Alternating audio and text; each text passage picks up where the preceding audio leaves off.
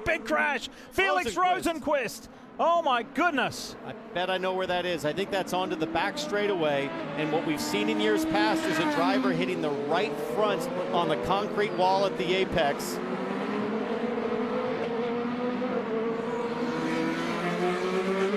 That is huge. You can see it's pushed the wall and the fence. In fact, it kicked the tires all the way over the chain link fence. And if you hit the inside wall, it can break the steering rack, and then you have no control and you go head on into the barrier. There is a stretch, there's a short chute, but it's a fast chute between turns five and six. And this is on the exit of turn six. You saw the Arrow McLaren SP driver visor up. That signifies to the AMR safety team and race control that he is conscious. But that was a big one.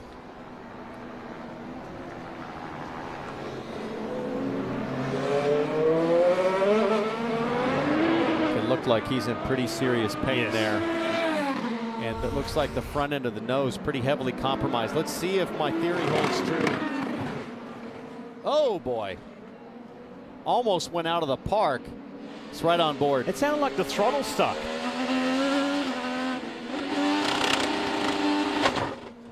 Holy cow. The throttle did stick. That was bizarre. It sounded like he went to a downshift and then had wide open throttle on the limiter as Sam Schmidt, the team, team owner, looks on. That was frightening. So I don't think that had anything to do with the steering rack.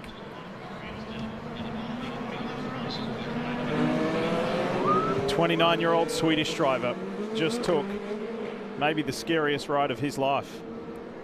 And that's not something we see often in IndyCar driver, in, yeah. IndyCar racing, a stuck throttle. You just, it's very, very rare. And I'm afraid that that, that nose of the race car was able to penetrate underneath or through the tire barrier and it's just concrete block on the other side and you can see how much the barrier's been pushed back normally this just runs straight and right here it's kinked out that's how much force rosenqvist had into the into the fence and this is going to take a while to clean up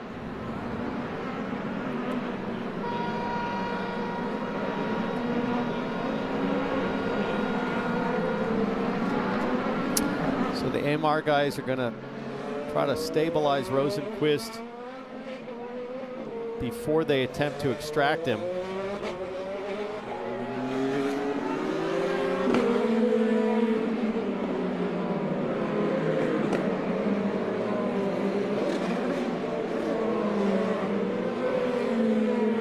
Look at that. Look at that one concrete barrier. Just totally pushed over. I mean, those the, are the, anchored together, yeah. Lee. There are uh, there are steel inserts that connect the wall. There's rebar that loops into the wall, and then a steel post that goes down through the middle, and it's just blown that completely open. I mean, the amount of inertia that is required to do that is colossal, to say the least. But yeah. we showed you that onboard replay, and it was a it was a frightening ride for Felix Rosenqvist.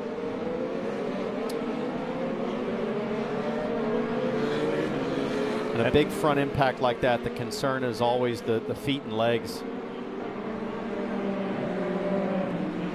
This is Felix's third year in the NTT IndyCar Series, a highly accomplished international driver.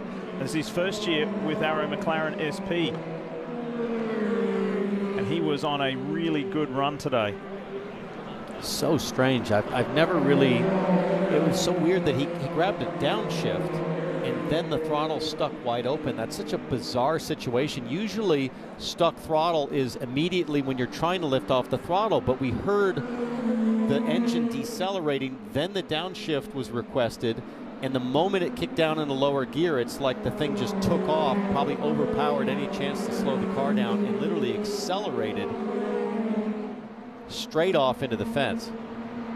And look at the, um, uh, I mean, we have seen the remarkable job that the AMR safety team does um, uh, for many, many years, but look at the compromised position that the, the, the, car and Felix are in for them to perform their yeah. their duties. I mean, it's just even yeah, all more the, complicated. All the training for AMR, these guys train extensively. They practice before every race weekend. The same crew travels with the IndyCar Series. They are absolutely the best in the world in motorsports at handling these situations. But to your point, they aren't used to doing this when the car is at a 45 degree angle pointed to the sky.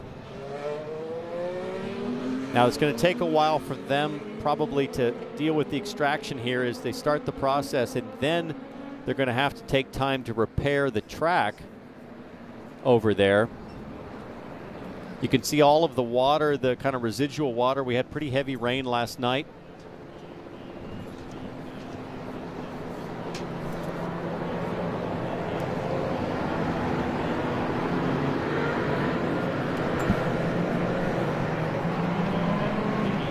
That water was trapped inside the tires, so that came out. That'll have to be cleaned up as well.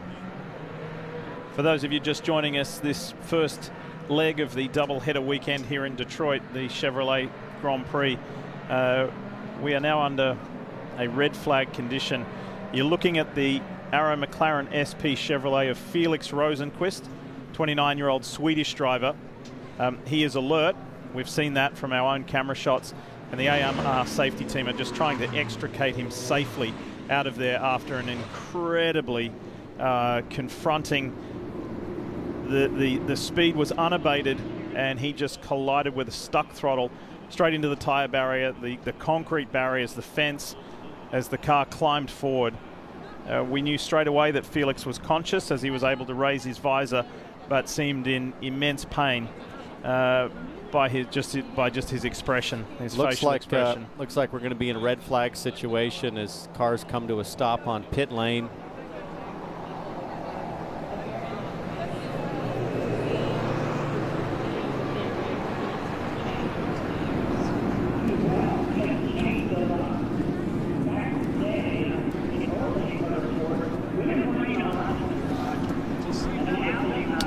So everybody lines up in their uh, respective order as we pause for Felix to be um, extricated from his car in the very, very good hands of the AMR safety team.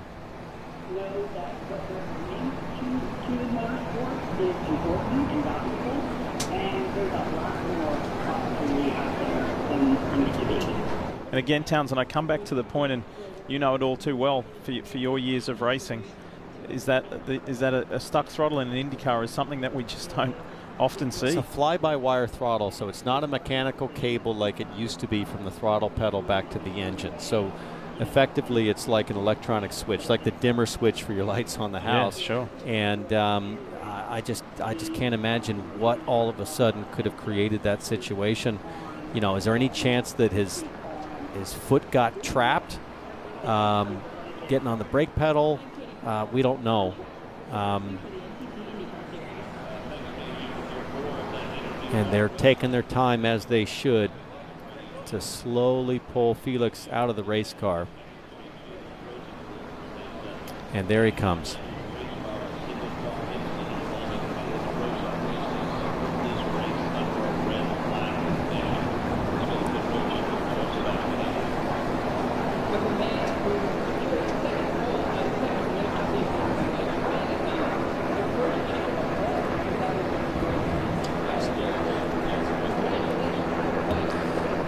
So again, for those of you just turning on to watch this uh, Chevrolet Detroit Grand Prix, you're looking at uh, the AMR safety team holding Swedish driver Felix Rosenqvist. They've put the uh, neck collar on him and they're about to place him on uh, on the stretcher after a really frightening accident at turn six on and this 14 turn course. And Diff, if we can if we can take any positive from what we're watching, it's that it's methodical, it's slow. Yes.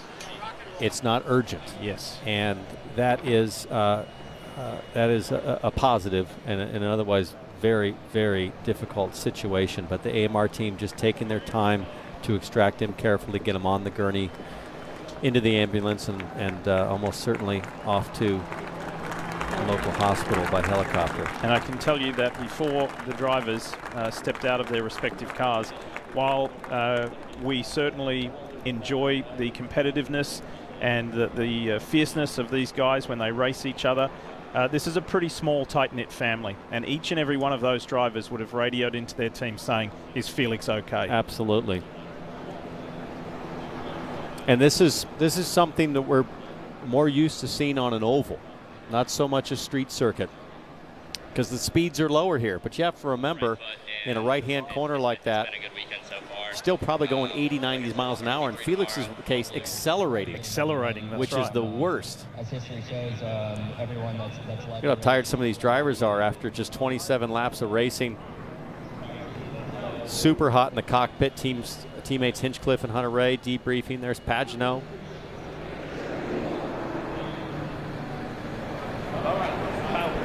So Felix Rosenqvist is in the ambulance.